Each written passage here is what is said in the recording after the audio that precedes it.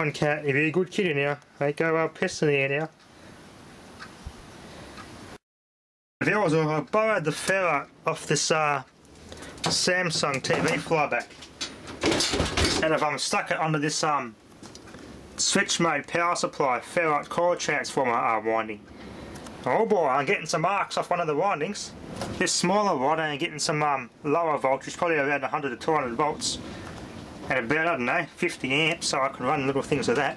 This other winding I'm not getting much at all. But this between this one and this one, which must be a bigger winding version of this winding, I'm getting some bloody crazy arcs.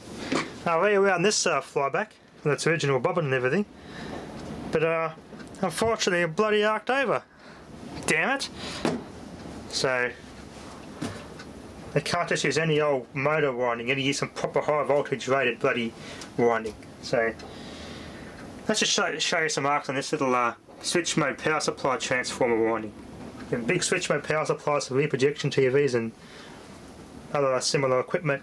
The bigger they are, the generally you can bigger ones better because you can fit the bloody core in them. Smaller ones you can't fit much winding because I can't find a core to fit them. So we'll try this one, it fits. Let's uh, show you some arcs. Oh, let's get some arcs going. Uh, adjust this a bit because it burns the plastic off there and it is very bright when that burns.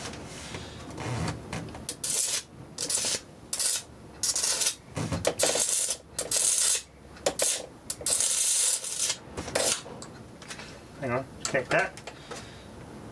Nothing there, nothing there. But here,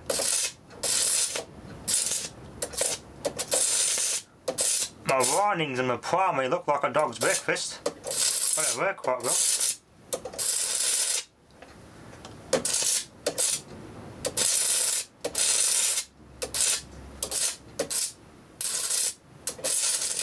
Be at least a little under 10 kV. Damn the amps are stupid. I just made the end of my screwdriver glow red hot. Damn, I nearly air rolled my screwdriver. Need a bigger screwdriver.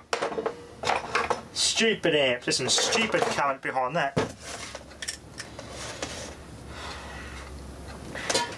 Okay, try again.